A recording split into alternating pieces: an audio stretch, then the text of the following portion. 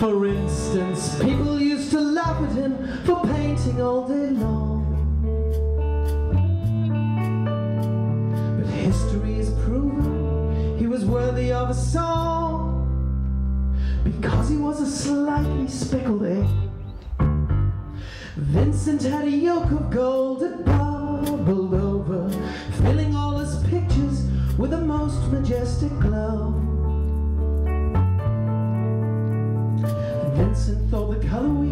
Was spinning far too slow because he was a slightly speckled egg.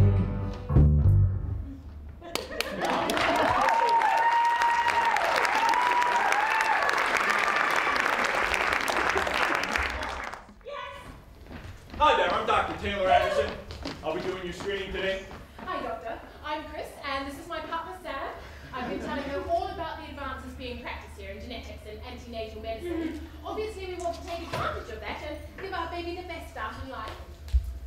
Obviously, yes.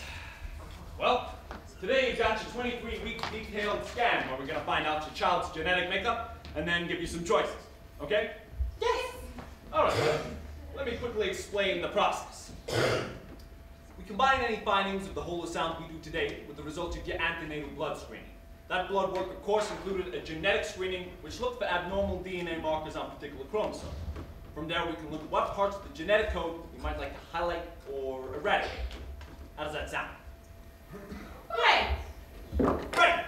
Okay, now Sam, if I can just activate this bell around your belly, I can direct the whole sound to the visual arena, and we can all enter your virtual womb.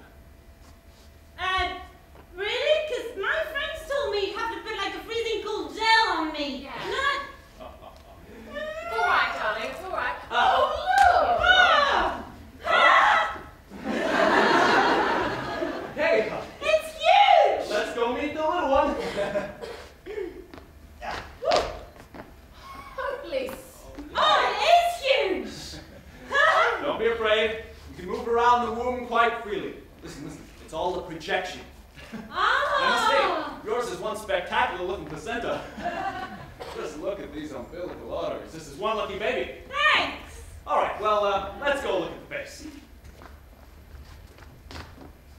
Oh! Oh.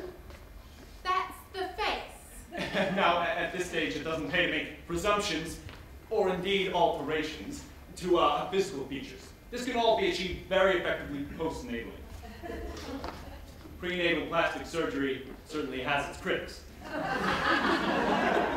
Aha!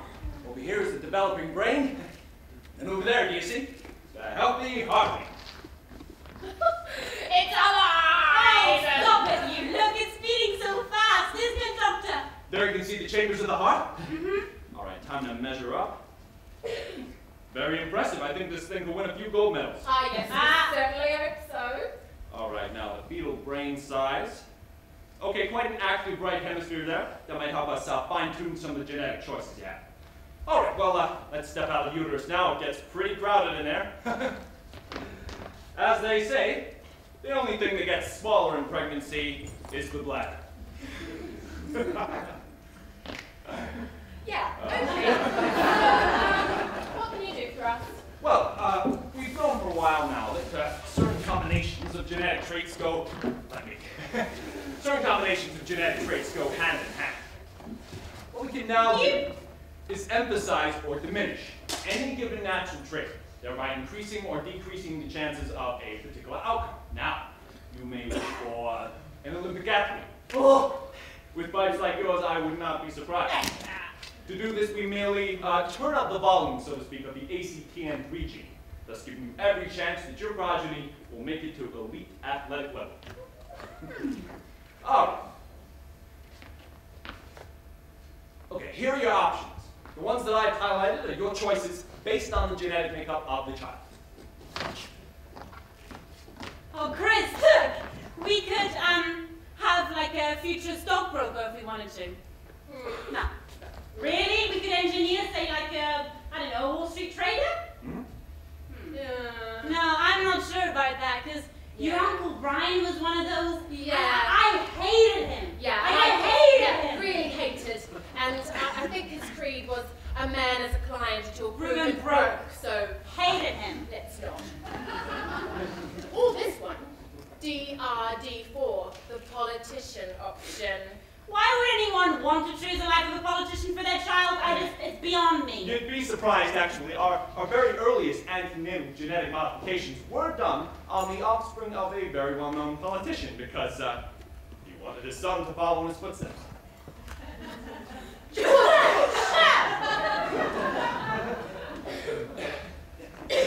Oh, oh, wait, I like that one. This sounds more promising. The musician. Yeah, I love that one. Actually, I uh, like. So- No, I liked that If, one. if I may, if I may, uh, there are several DNA sequences that uh, correlate with musical ability, and uh, one of the implicated genes is also linked to dyslexia. So, unfortunately, manipulating the sequence is not as straightforward as some of the others. Uh, however, if uh, you don't mind an element of risk, there is one more uh, exciting yet controversial option. Yes. Yeah. You can see. Uh, my initial findings indicate the DNA marker 18 on chromosome 21q. We know that this marker is vital in the creation of genius. In no time at all, you could be attending the Nobel Prize ceremony exactly to watch your kid accept an award for the scientific discovery of the millennium. The flip side, of course, is that there is a slightly increased risk here of uh, mental illness. Mm-hmm. Are you aware of any history of uh, mental illness in the family? Yes. Yes. Uh, Well, I don't really know. My family history is, well, it's it's complicated, really. But um, I haven't seen them in years. Thank God. Yeah. Um, so yeah, I experienced um, anxiety and depression in my 20s.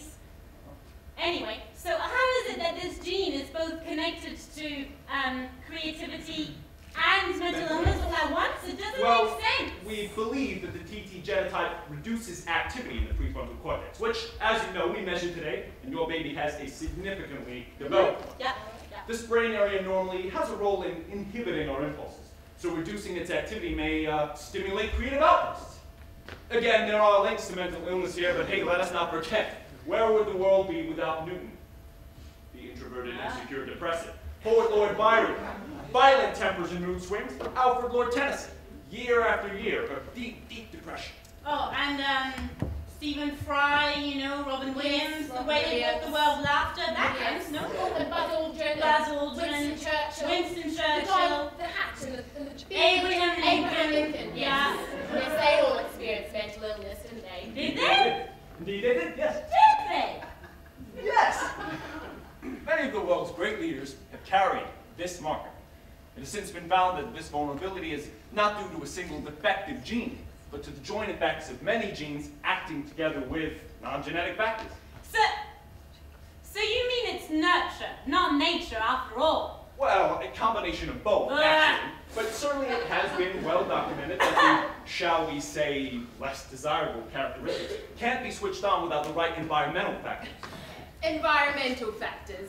You mean like good parenting? certainly impaired parenting, uh, neglect, and other trauma can uh, throw the switch, so to speak. But uh, you know, there are countless environmental factors which can have an effect on mental health. In fact, in many studies, these same genes, when linked to a supportive and nurturing environment, encourage a social, empathetic, flourishing child. They call them the orchid children. So, hang on. You're saying that despite everything, not only could we play a large part in how our child turns out, but that regardless, there will always be this element of risk. Yes, well, un- unfortunately, none of these environmental Wow. things we have any clinical control over, but we do encourage resilience training for all of our engineered clients, and I can recommend several parenting courses. How can you? That's very nice of you, Yes. You'll find all of our recommended psychosocial interventions Hmm.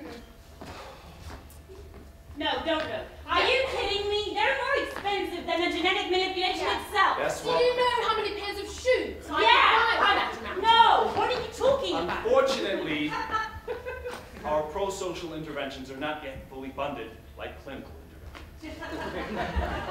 okay, Chris, just hear me out. Okay. What if we were to just see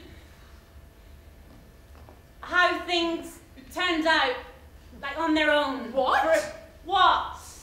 You mean just let nature take its course? Yeah. yeah, because... Well, I certainly haven't seen anyone take that risk in my years of practice. Listen, I would highly discourage you, and of course no medical insurer will touch you. But in the end, it is your choice.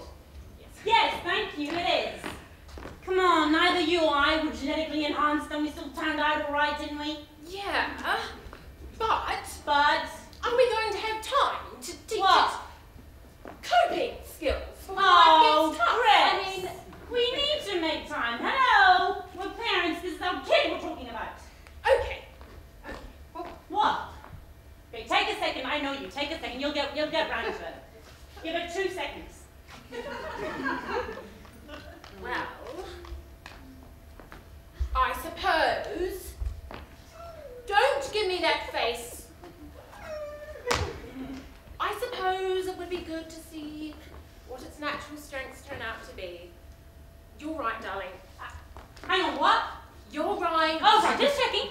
Yes, you're right. If we're going to commit to having this baby, then we should commit to being a part of raising it too. Thank I mean, come on, we planned for everything else, so let's keep some surprises, shall we? Yeah.